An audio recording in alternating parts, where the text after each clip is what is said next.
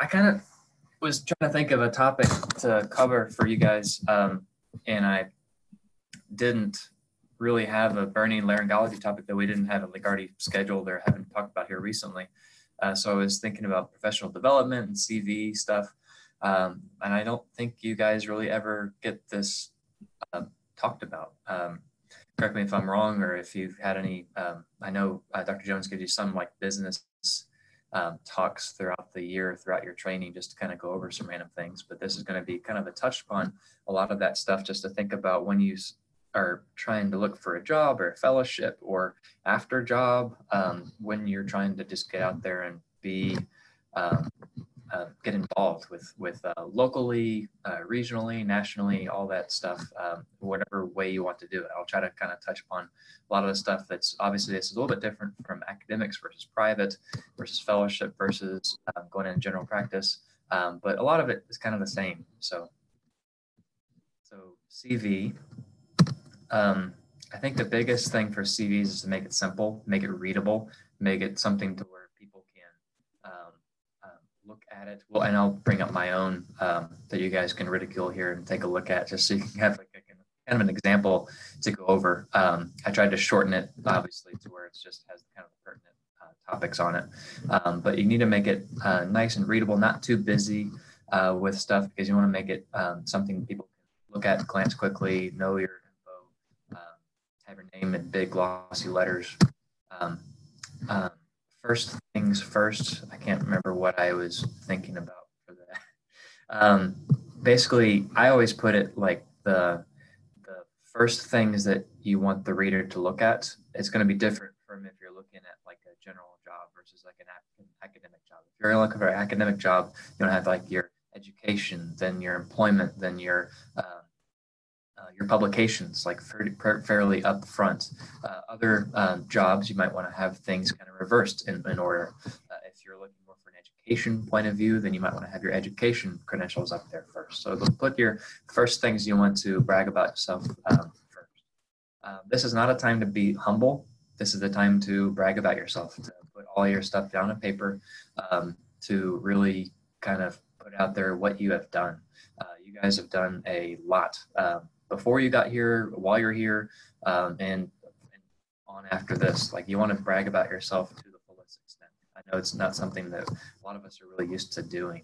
Um, uh, do not put anything on there that, I mean, I think probably a lot of you um, had this talk or, or had some talk about this when you're applying for residencies, but you don't really want to put anything on the CV that you don't own. Like if someone would ask you about a paper on there, um, that they're really interested in, then you don't, you're, it's like crickets. You don't have anything to say about it.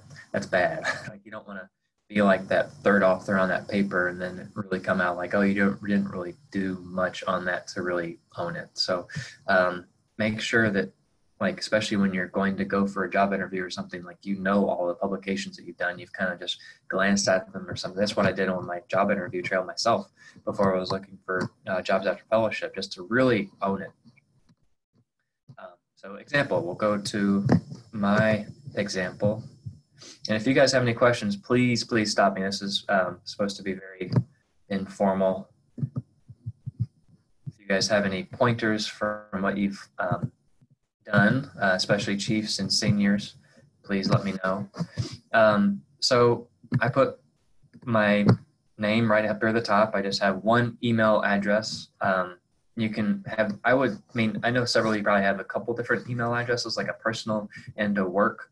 Um, for a lot of you guys if you're uh, looking um, at jobs starting to get ready i might not make it your uk email from here. I might make it your personal email just so that um, you will not have your uk email for forever. Like i know from nyu when i was leaving there i lost it within two days after graduating. So um, just be careful where you put your your email stuff um, just my cell phone, and then I don't really have my address on here. Um, I just go straight into education. I like these um, tabs um, or uh, uh, little line sections where you can kind of easily kind of scan down. It's nice, big, bold, and solid. I have sections for education. I have my most recent thing first. Um, I have like smaller font, just kind of make it a little bit um, less eye catching and less busy. Uh, try to have spaces whenever possible uh, so things aren't just crammed together. Uh, I go to like the professional academic positions. This is more where you'd have like your jobs um, or any type of uh, spot that you've been in the past. So you guys might not have much in here as of yet. I mean, I don't really have anything in here from prior to uh, to fellowship on here. Uh, honors. Uh, this is anything that you've kind of been given before. Um, it can go back as far as you or feel comfortable. Like I, I still have stuff from college um, in some of my honors and some of my stuff section. I don't really go back to high school. I mean, no one really cares about high school, I think, anymore. But um, that is something just to be uh, considered about how far back you want to go. Um, publications. Uh, this is uh, shortened since I didn't want to give everything into there, but um, the ones from back a long time ago, they have like the full, um, full um, citation, the full reference here. But then as you uh, look further on, uh, you can see I've tried to bold where my name is just so people can quickly look, see like where, where are you in this? Are you first author, are you last author, that type of stuff. Um, and then you can see here, this is published ahead of print. So this is like an online only where they can find it. So it's not going to have a uh, perfect way to find it. Uh, sometimes there's going to be like a DOI that people can look at for. Uh, and then here's another one that's just an example of a submitted paper. Uh, once it's submitted, I um, I'd encourage all of you guys to put it on your CV just so you don't forget about it. Uh, and uh, also just get in the habit of updating. Like if you ever get accepted for a poster presentation, if you ever get accepted for an oral presentation, if you get a paper submitted, if you do a book chapter, put it on your CV before you forget about it. Um, that's one thing that uh, I think has been very helpful for me just to not forget stuff. So um, I'd encourage you to fall for that. Um, I have another section for book chapters, uh, another section for oral presentations, also very shortened down. For this, I would put any of your grand rounds, uh, and I mean those are full. Um, sorry, what's that? Someone. Um, if you go to any um, big meeting, I'd obviously have that there. Uh, if any uh, big talk within the department, I would put that there. Um, so I would, uh, like the research symposium, I would for sure put that as an oral presentation here. Uh, this is definitely, uh, again, a time to brag about yourself. Uh, poster presentations, um, I, I, as soon as something is accepted, I go ahead and put it in there. So as you see here, COSM's not going to happen, but I still put this on my CV um, just to uh, not forget about it, like, um, and just go ahead and put it onto there. you have the date on there, so it's obviously uh, not happened yet. Uh, and like we said, this is really necessarily going to even happen. So, um, but then as you go further back, just having the date, where this is located, and just a quick little blurb about it. Um, memberships, um, certifications. This is another section that I have. Um, just if you're, um, I mean, Kentucky Society of Otolaryngology, all of you can technically be members. It's free. Uh, you can list that. If you're, uh, all of you, I believe, are also members in the, in the academy, so I would definitely put that as well. Um, and then once you're board eligible or board certified, I would also put that for when you're finishing with uh, your training. Um, we'll get to all these other things uh, here in a bit. Uh, professional activities, here's kind of where you can put all of like the riff-raff. Uh, this is stuff I didn't really have um, um, necessarily before um, um, starting a job because I didn't know really where to put this. But if you're a reviewer, if you've done any reviewing for any uh, journal before, go ahead and put it there. Uh, if you have um, done anything with any committees at the academy, if you've done anything uh, doing mission trip, I would put that here. Like this, again, this is a kind of a nice section to kind of a catch-all um, for uh, bragging about yourself and just putting yourself out there. Um, this is a section I just started this past year, uh, which I kind of like. Um, this is what um, uh, put for like our two-year review that uh, Dr. Keckner Gupta and I did like within with internally within the department. And I kind of like this as a, just kind of a way to look back at like this is how you're getting yourself out there. This is these are the big meetings you've gone to, um, and it's also a way you can kind of remember what you've actually done. I, I didn't have this before this year, but I kind of like it. Um, this is more academic curriculum and mentorship. That's more for academic uh, if you're in a um, and teaching experience, uh, if you're in academic uh, spot. If you've ever done a podcast, if you've ever done like any type of um, um Men's Weekly article, which I know Dr. Comer's done before if he's on this. Um, put that here. Um, it's not a um, peer-reviewed journal by any means, uh, but it's something that still uh, put yourself out there and it's uh, another media. Um, and then interests. I, I mean, just looking at the um, people applying for residency um, this year, I mean, looking at all their interests, I mean, this sparks conversation. Again, don't put anything here that you're not going to be able to kind of own and talk about for a good five minute stretch for small talk. Um, but if there's anything on there, um, um, like it should hopefully make a, a, a great connection with someone you're talking with. So let's go back to the PowerPoint. Any questions about CV?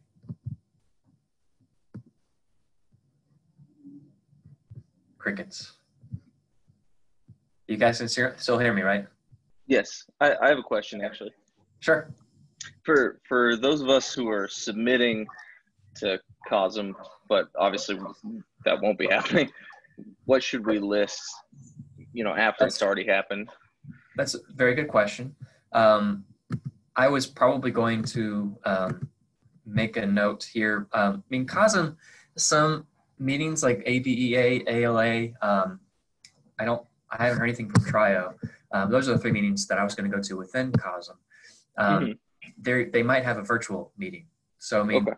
our posters are going to be submitted. I don't right. know about oral presentations, about how, how do they do that, but they're even looking about how they do that. Um, I was probably just going to be like virtual um, coronavirus or um, something like there just to make it known that, um, like you know that meeting didn't happen. Sure. okay still um, accepted and you still wrote that publication or wrote that poster. So okay, uh, that's a very good question.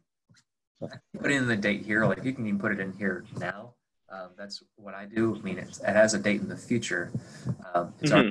assumed that you're going to have it there. So uh, different yeah. from publication where like you really just haven't had it, some, like actually click submit button before you actually to here.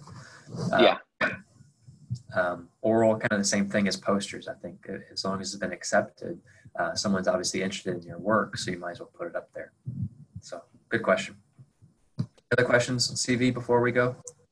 I also just a more formatting type of thing. Do yeah. you find that numbers using numbers instead of bullet points is more useful in terms of seeing how many things, like overall glancing, they can see like how many things you've done in categories I, or I like numbers for certain things. Um, so um, for obviously like education, uh, professional, academic stuff, like I'm not going to be numbering that. Um, but for looking for posters, for oral presentations, publications, I think it's very quick and easy and dirty just for someone that's looking over a thing just to, oh, they, they have five publications. Again, this is shortened. I have many more than this. But again, uh, you can like quickly know how many they have done. Uh, you can see like how many book chapters they've done. You can see how many oral presentations they've done, any posters. Uh, those are really the only ones I number. Um, all the rest of them you can kind of see I do them based off of year, uh, if it's a type of thing like that, or just um, um, bolded and not really even any, any bullet points. So yeah, I, I, I typically, as a reader of this, as well as making CVs, I like to see the numbers in certain sections. Does that answer your question, Kate? Yeah, yeah, no, that makes sense. Okay. Uh, let's go on to uh, other stuff.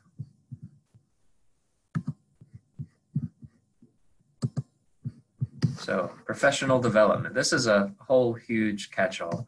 Um, really, this this whole pandemic thing just kind of makes me uh, reminisce about my second year in um, residency when Hurricane Sandy knocked down three out of the four of the hospitals that I covered, and I had to figure out like what the heck am I going to do um, through all this to kind of make myself shine for uh, fellowship, for job, what. So uh, you have a little bit of downtime. Um, this is kind of what prompted me to kind of think about this too, like um, shine up your CV, uh, figure out a plan.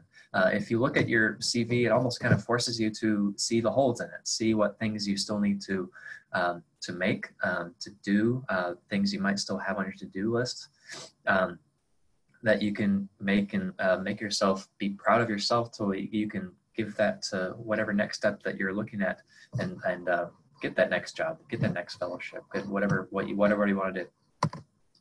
Um, research.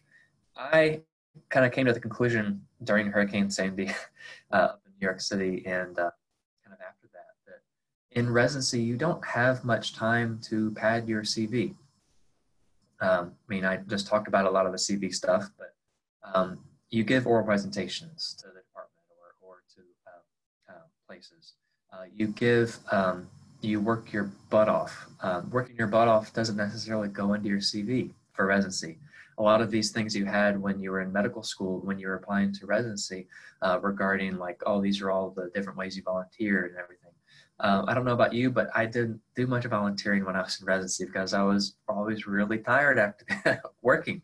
So, um, what ways do you have to actually pad your CV? What ways do you have to distinguish yourself from other ones? uh, from other people, um, especially when you're looking at fellowship research. I mean, really, that's one of the only ways um, outside of letters and people going to bat for you, which I think everyone in the department can go to bat for you with whatever fellowship you're looking at. Uh, research is one of the big ways that you can distinguish yourself. Um, uh, we'll talk about uh, fellowship search right now for those that are curious about that look at job search because uh, that's uh, a little different. And even if you go through fellowship, you'll still have to do a job search. Uh, societies and academy will kind of circle around back to that uh, for like how you guys get involved, when it is useful, when um, you might think it's not useful. We'll try to go over the pluses and minuses that. Uh, and then when you're on the job, I mean, this is not just um, getting to there, but this is like the things to think about when you're actually there. touch upon like physician liaisons, coders, office manager, and then like how do you become tenured? How do you become a partner? Um, research. Um, again, what other way is there to distinguish yourself during residency? Uh, research gets you those poster presentations, poster presentations, those publications. Uh, a lot of ways that you can um, yourself out there. Um, this is one of those ways. Uh, posters, oral presentations, papers. Um, utilize medical students and other healthcare providers. What I mean by that is like uh, speech language pathologists, uh, not only for finding the projects uh, or engineers, or I mean, we're on a undergraduate campus with tons of researchers. Um, they're typically tons of researchers. Um, there's a lot of people that you can utilize to augment your time, augment your experience. You guys bring a lot of clinical know-how or a lot of uh, research, uh, even at your stage of residency, um, that um, medical students don't have that. They can do chart checking, they can do uh, chart draws, um, but they don't have like the clinical um, gestalt for like what does it all mean. So um, I think you can augment your research time, your all of your other stuff uh, by utilizing medical students specifically, as well as speech language pathologists, students, um, engineering students, all other types of um, people across uh, statisticians, all or people across the whole uh, enterprise uh, for doing this. Um, and I really, um, I don't collaborate, collaborate, collaborate. Like there's just no reason to do it within a bubble. If you're having questions, ask. If you uh, look on someone who's doing something really cool, ask them about it. Um, maybe you'll stimulate another question where that person wants to do something about things. Um, I think um, I know some of you guys, like in your second year, it's like hard to uh, do too much, and especially like during your intern years, it's hard to too much. But just keep your ears open. Talk with attendings if they are doing something that you kind of like, or or have some downtime in between stuff. Ask them what their research projects are, just so you can uh, kind of go over uh, and kind of figure out what else can you get yourself involved with. Um, fellowships. I think most of you know all this, but um, and I think I'm, I'm still probably missing one of the fellowships out there. So I apologize if I forgot one. Uh, laryngology is obviously the best fellowship ever. So um, there's also head and neck, which some of them have recon, um, some of them don't. Um, there's rhinology and skull base uh, that um, some of them have more of a focus on one of the others. Uh, there's facial plastics, which facial plastics has a whole huge um, um, variety within it. A couple of them have some more recon for head and neck um, and, and doing free flaps. Uh, more of them are just private based. More of them are, are some some are just uh, academic spots. Um, some others do Mohs recon more. Um, there's a lot of different variety, especially within facial plastics. Um, there are otology fellowships uh, as well as neurotology fellowships, slightly different. Otology is typically one year. Uh, neurotology, uh, I think there's only, when I was looking through, there are only 13 spots a year, so not too much. Um, neurotology is more of the skull base in addition to the otology. And then you obviously have pediatrics. Um, then you have uh, much less often you have sleep, and then um, some people even do allergy fellowships. Are there any ones that I missed within that? We'll go with no. Um, so what is, I'll just go over laryngology just since I can speak about that a little bit more um, specifically. A lot of this kind of crossovers too. Um, this focuses more on like the voice, airway, swallowing, laryngeal cancer management, and just you've seen it day in, day out. Um, you, most fellowships with laryngology will focus on endoscopic means, um, but a few will have more of an open bent to them, like doing open cases.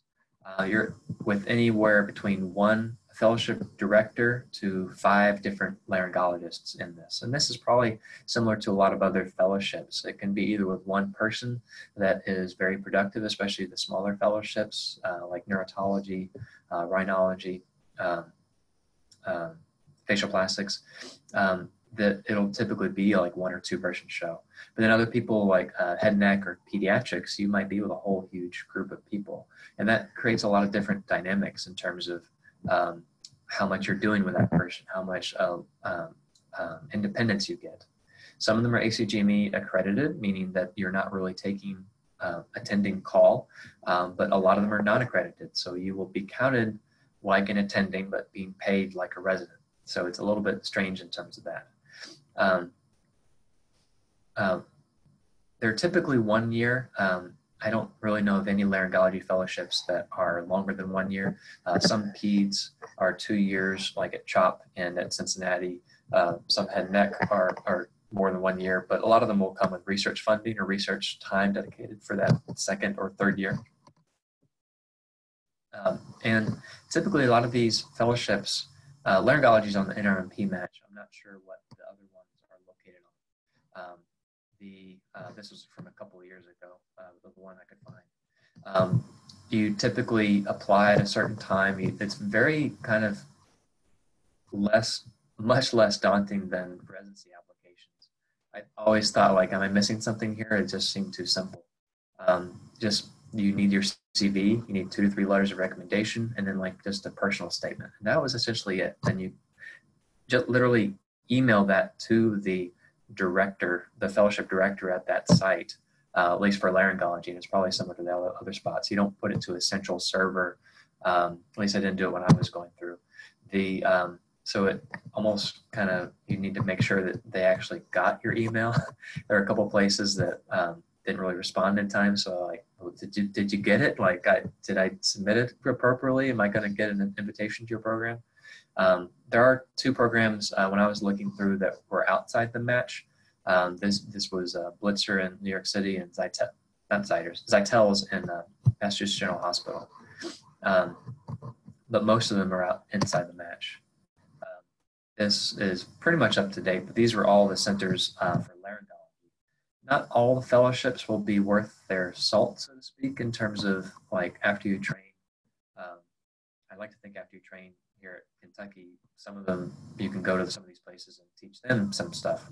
Um, um, other places uh, will have more volume. We'll, we'll see more stuff where you can kind of get more um, hands-on experience. Other ones will be hands-off experience. Uh, this goes for all the fellowships. Uh, it's the same thing for uh, residency. The same thing you're looking for in fellowships in terms of how much hands-on experience are you getting, how much are you teaching residents, how much are you taking call. Uh, all this comes into play uh, for what you're actually going to be doing. Do you have an offsite clinic? Uh, a lot of these times you'll have like a general clinic at an offsite location just to kind of help pay for your salary for that year. Um, so all these things to kind of consider when you're looking at places. Any questions on fellowship and fellowship searches while we're on that?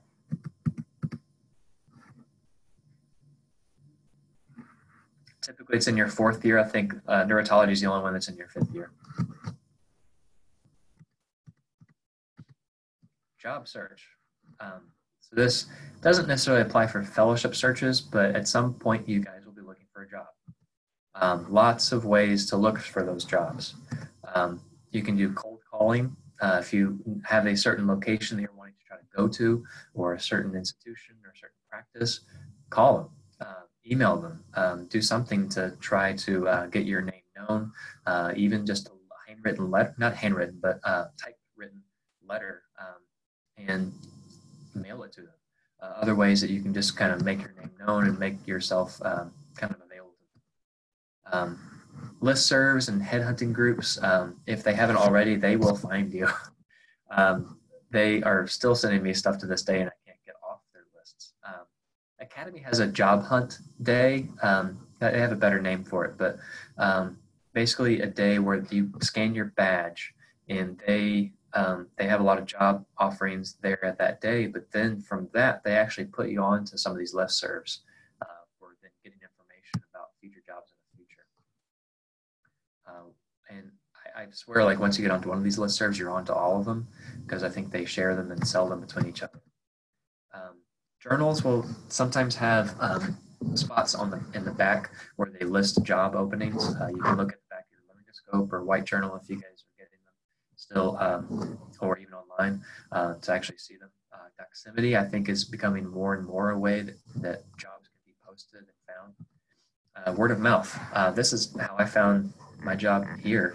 Um, so basically, word of mouth. Um, uh, Dr. Iverson was emailing um, back to my fellowship director down at Medical College of Georgia, saying, "Hey, do you have a do you have a, um, a laryngologist that could be coming up here in Kentucky?" uh, it wasn't really posted anywhere. So I got mine completely up here from word of mouth. Um, fellowship directors and uh, residency mentors um, hopefully will be sending you all this stuff because a lot of this stuff does come from word of mouth or their uh, emails are solicited and sent out to the directors uh, or to the people that, um, that know.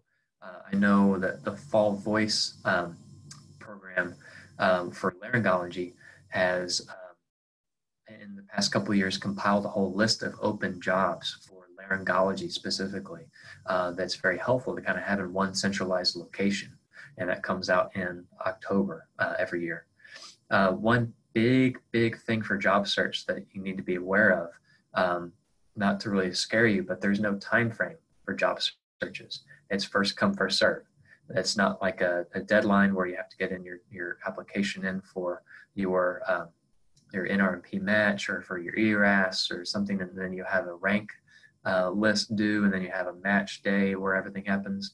Uh, it's first come first serve. I made my first calls um, for jobs in July in my fellowship year, so right when I first started, and um, I think some of you even like have like some types of jobs lined up for after fellowship. Um, so, um, but um, the I think that is great. Like in terms of uh, you don't want to be in your fellowship and then be in April of your fellowship year and then not have a job lined up. It does take some time, even after you get a job, to get your license, to get accredited at your next institution. So a lot of this stuff, a lot of this time does take time. It takes time to find a place uh, to live in for the next uh, for the, uh, the next job.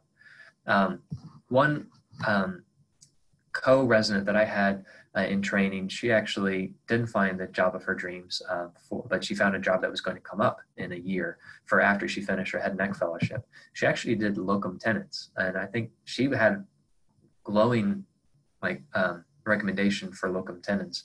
Like it's great in terms of uh, it's a, a discrete time uh, you can set your time for some of them uh, to where you're only going to be working certain amounts of days. It's pretty well paying, uh, and then it's only going and it's going to pay your salary, and then it's going to be a great way that you can then go um, set up for your next job. It's going to allow enough time for interviews and for other stuff. Um, so that's it for that. Uh, any questions on job search?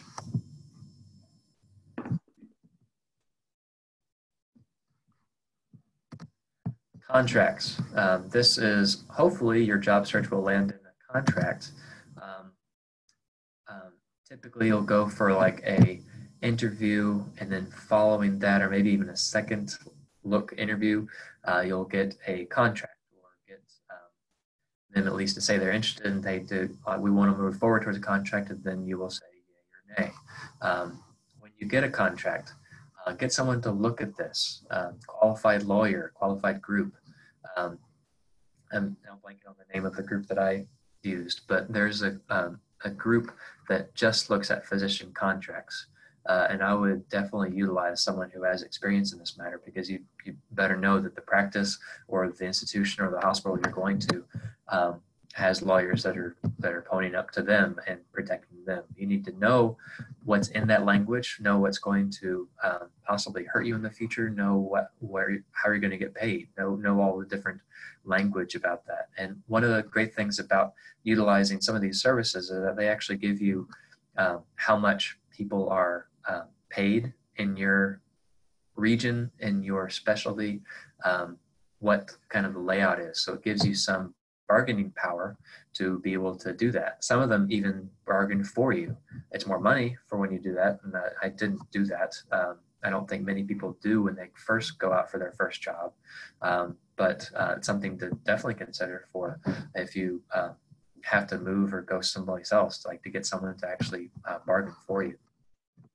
Uh, do not sign the contract without um, a lawyer or someone there are a lot of languages within it that uh, you're not, I mean, you can't read unless you have the lawyer jargon uh, speak, uh, which none of us have. Um, you don't want to get in a situation where you don't have anything behind you uh, and, and, you have a paper that's basically owning for that year or however long you're in that contract for. Um, how you are paid, uh, this is big. There's a lot of different models out there. This should be kind of within the contract or at least kind of spelled out before you sign. Um, is it RVU based model? Is it a collections based model? Is it a like a base model, like just a, complete salary that you get it doesn't really change? Um, are you guaranteed a certain amount of money when you first start? How does that ramp up once you meet your targets? Uh, a lot of places will have kind of a two year um, span where they assume that you're not going to make your full target and pay for your salary. So they kind of have that built in. But then after that, what happens? Um, be cautious about these places in, in like Timbuktu, Oklahoma, or um, North Dakota, or someplace that are offering a load of money for you to go, and they guarantee it for the first couple of years. A lot of times, that's inversely proportional for how much you will then get once you're there in practice. But then they have you, they have you kind of had maybe you've gotten a home there, maybe you've developed roots, and then you uh, are kind of stuck there afterwards. So be cautious. Know what other people are making. Uh, it's not something you necessarily want to ask the first time you're there on an interview, um, but that's something that um, plenty of people that I've known have gotten information about um, how much people are made, uh, how much people make. For those going to public institutions, all state institutions have it where they have salaries posted um, online where you can find it. So um, a lot of the um, academic institutions I was looking at were public institutions. They had all this data available at least in terms of the base model that people were getting paid, where I could figure out how, like okay, so if I'm in this for like 10 years, what, what's going to be my long term um, salary from this job, so to speak, if, if I stay there, or, or will it stay the same for forever and eternity? Um, how is consulting dealt with? Um, like in terms of how does other money come into you afterwards? Is it your money? Is it the group's money? Is it the institution's money? Um, intellectual property. Um, how is that dealt with? Is it um, is it going to be yours? Uh, that's something that if you're bringing in something or, or have some other uh, um, consulting or some type of relationships beforehand, you might want to get that word worded into the contract. Uh, non-compete. This is another thing that typically is worded somewhere in a lot of these. Um, it's kind of always questionable to me how much non non-competes are essentially so you you stop working at your institution where you have this contract from. You cannot set up shop across the street day one right after you finish that job and compete with that hospital or institution or practice that you were just working for. Uh, it's a way that they can, um, hospital or institution or practice can kind of protect themselves from bringing in uh, potential competition. Um, this will be typically have a year um, or two or so um, uh, years associated with it, as well as a mileage distance from the, the signpost or the institution that they're located at.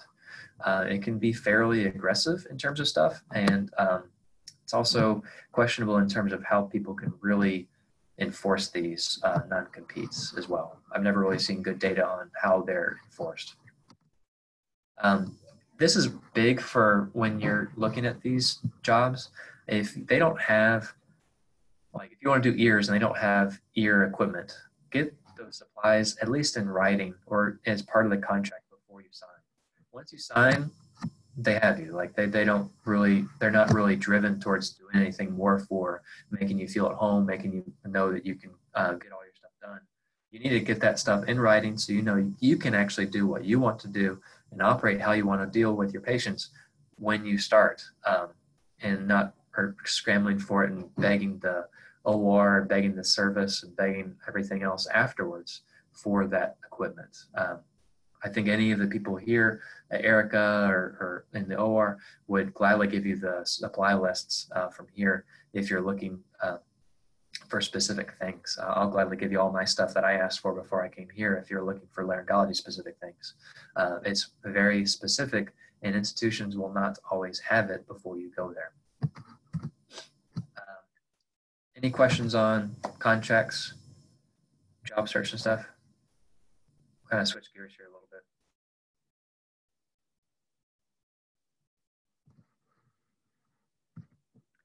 Societies and academies. So they, they, there are a ton of societies out there for ENT. There's trio, triological societies like the ears, the nose, the throat. Like I think that's the trio thing. I can't remember exactly why it came that to be like that. ABEA, this is American Bronchoesophageal Association. Uh, I was set to be inducted into this in, at COSM, which who knows when that will actually happen. Um, that's also a lot of PEDS crossover too. So some a lot of ASPO members will be in this too. ALA is American Laryngological Association. So those are the two like um, laryngology associations. There's American Rhinological Society, ARS. There's AAFPRS, um, which is facial plastic, so recon. Uh, AHNS was American Head and Neck Society. There's American Otological Society, uh, Otology, Otological Society. And then there's American Neuro- Neurotological Society. And there's ASPO, uh, which is the pediatric. Um, within this, um, trio, you typically have to have a thesis to actually uh, become a full member. The uh, which that, the requirements for that have gone way down over the past few years, but it's a whole stepwise process you have to be through that and become a member in ALA and AOS. Um, ALA and AOS, you actually have to be a trio member and then get invited to become a member. so you have, you have to do all these certain things and be in practice for so long and, and, and know people and be well known. And then you still have to get invited.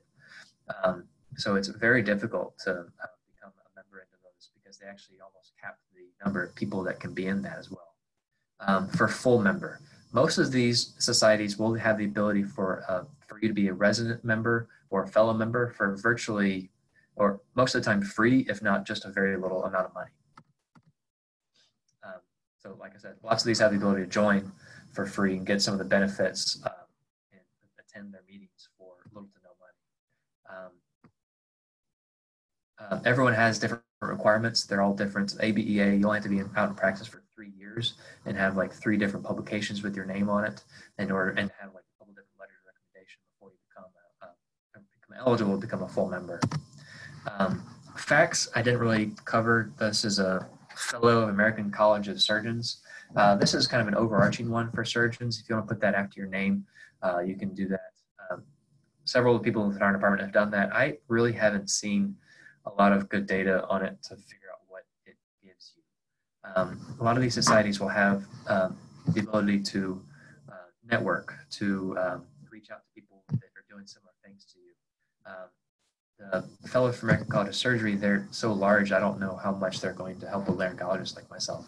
Um, but it is, they are, dues. Once you become a full member, it's going to be money out of your pocket uh, or money of your professional funds to cover uh, that those dues, or else you let it let it slide.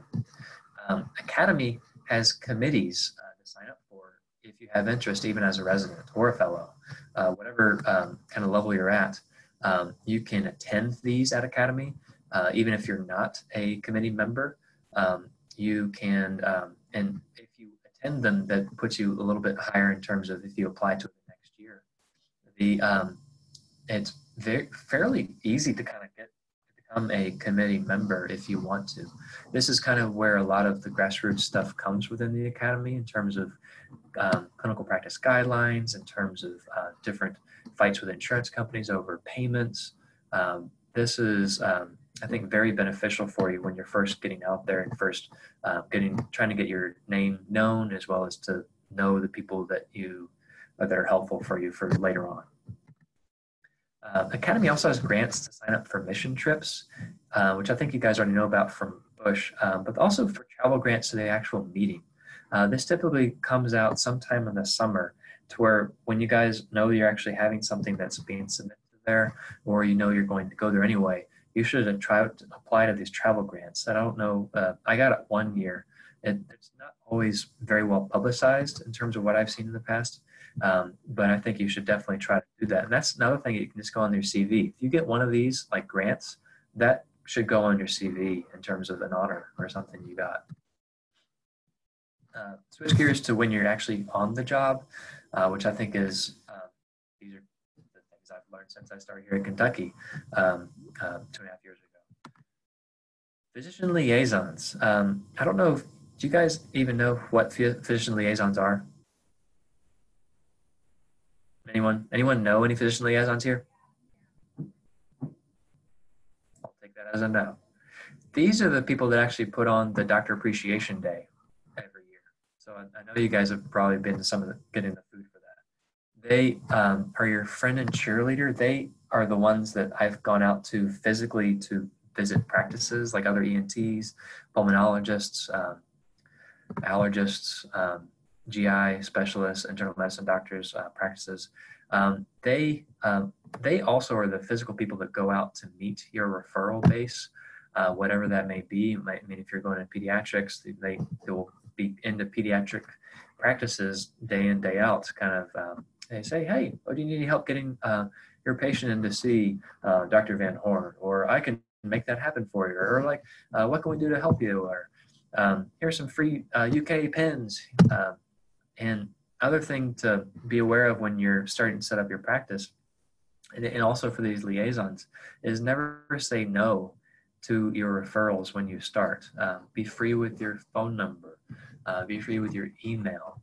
Uh, let them know how they can reach you or or your um, or your office staff um, easily. Let them know like if you have any question or problem, they should contact you so you can help help them get through it. Um, let them know what you're doing that's new within the the uh, the practice that you're getting into. Let them know what you're interested in, so they know someone. Oh, well, that person's really interested in um, salivary neoplasms. Well, I should send it to that guy because he's really interested in it. He loves it. Um, and another just kind of randomly um, I put on here: avoid doing anything crazy when you first start a practice for that first year. I mean, um, if you can avoid it. I mean, there are certain instances where like it, it's just going to happen. Like you're going to be in the middle of the night, or there's going to be some like emergency where you need to do it, or else that patient doesn't get taken care of. If you have the option, if you have um, um, partners that you work with, um, don't try to do something crazy that might get you a bad rap. Uh, put your name on that M&M list for that first year or that first few weeks that you're in practice. You want to make a solid name for yourself when you first start out that you are uh, very dependable, that you are reliable, that you uh, are, are going to be well thought um, or uh, think out through your surgeries very well and not going to put your patients in harm, harm's way. And, and, you'll get more referrals because of that. And then you can start branching out once you feel comfortable, once you've developed that referral base. Coders. Coders, you guys don't really interact with much either, except for when they're saying to sign your notes and stuff. Um, these are the, the way that you make your money. Um, there's no way to emphasize that you can be the best doctor, you can have the best patient um, physician relationship in the world, you can be like one of the best docs on like the U.S. News World, World Report.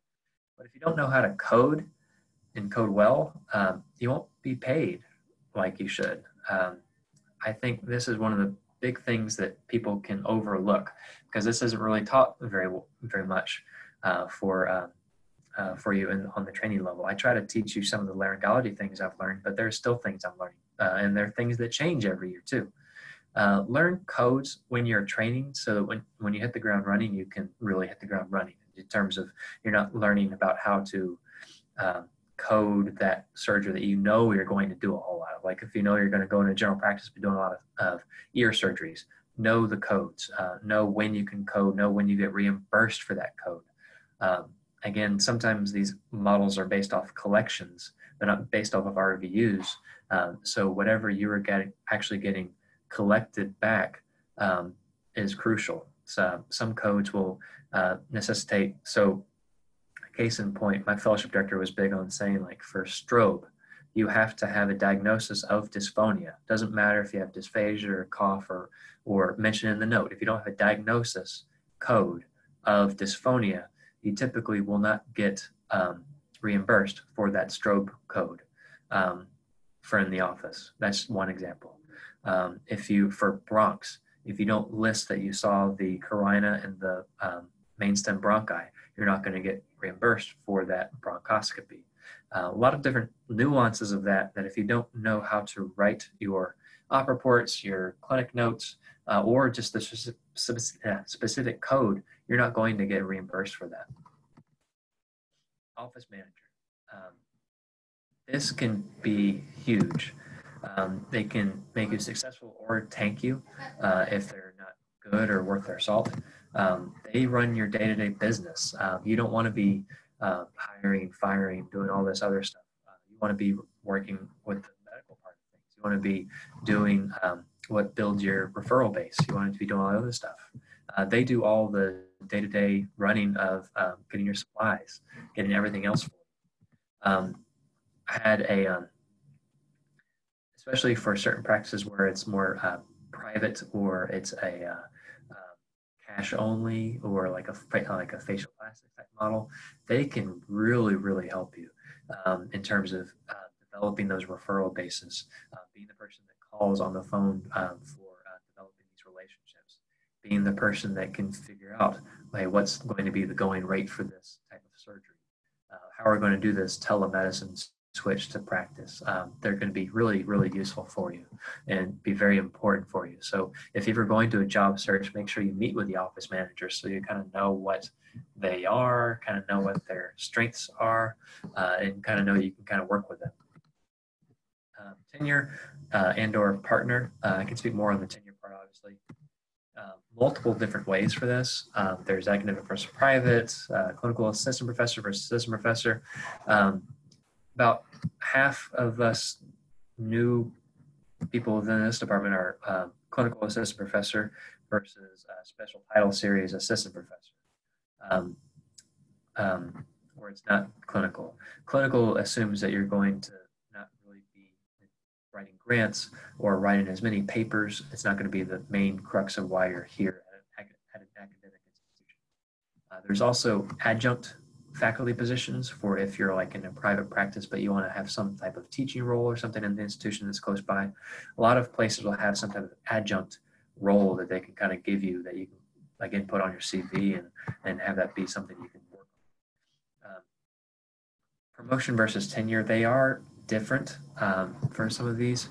So for clinical assistant professor here, just a case in point, um, you can get promoted to clinical associate professor, but you cannot really get tenure. Tenure means that you technically can't get fired, although I don't really know what that means anymore uh, because things, change, things always are changing. Uh, assistant professor that can you can get promoted as well as get tenure. Um, it's I feel like the clinical um, assistant professor is becoming more and more of a thing at academic institutions uh, across the whole nation. Uh, it's something I was seeing more and more um, at all the different sites I was looking at jobs at when I was applying. Um, um, becoming a partner, that's another thing from your contract. You should figure out how you can become a partner. Know the steps that you can take that will will ultimately end up in you becoming a partner um, and, and getting a piece of the pie, so to speak, for that private practice job. Or if you're going to an academic position, how what are the steps? How long before you come up for stuff? What are the requirements for that role that you'll get promoted? Uh, that should always be in writing, um, well thought out, well uh, described to you before you start there, uh, or else you might get into a job where you can't become partner, where you can't become uh, tenure promoted, then you're kind of stuck. And that's basically it for my talk. I don't know if there's any other questions you guys have for any of those different topics.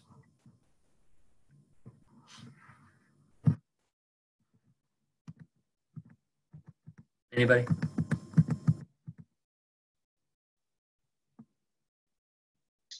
None for me. and That was really helpful. Thank you.